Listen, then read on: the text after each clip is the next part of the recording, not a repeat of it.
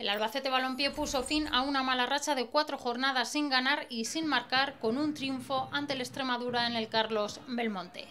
Salió muy bien de inicio el Albacete y en el minuto 2 ya tuvo la primera ocasión del partido gracias a Tejero. El lateral, tras una buena carrera por la derecha, entraba en el área y sorprendía a todos con un buen disparo que se marchaba al primer palo. Otra de las ocasiones más claras para el Alba se produciría en la segunda mitad. Tejero centraba desde la derecha, pero nadie fue capaz de llegar al remate en condiciones. El rechace cayó primero en las botas de Febas, que disparaba raso, y Casto no sin dificultades.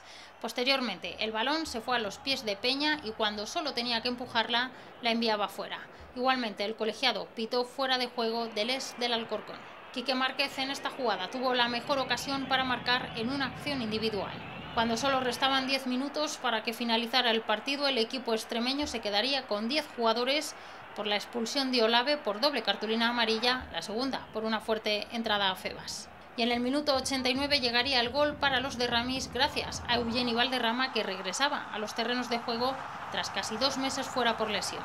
El catalán lanzaba de manera magistral una falta desde la esquina derecha del área extremeña y batía a Casto por la escuadra. Con este resultado, el Albacete Balompié sigue tercero ahora, con 53 puntos. Lo que quiero decir es que eh, yo creo que hemos hecho todo lo que había que hacer en un partido de fútbol para, para no perderlo. Hemos tenido momentos para ganarlo, hemos tenido momentos incluso con 10 para, para poder incluso eh, marcar un gol y solo puedo felicitar a mis jugadores, estar muy orgulloso de ellos porque un equipo como nosotros ha hecho todo, todo lo que había que hacer en este partido, pero Estamos hablando de un partido de fútbol. Me imagino que, tendría que, tenía que venir de esta forma, a veces para revertir eh, situaciones, no de dudas, pero bueno, en las que generar situaciones de gol suficientes como para no tener que esperar a una situación de gol como la que, como la que ha llegado.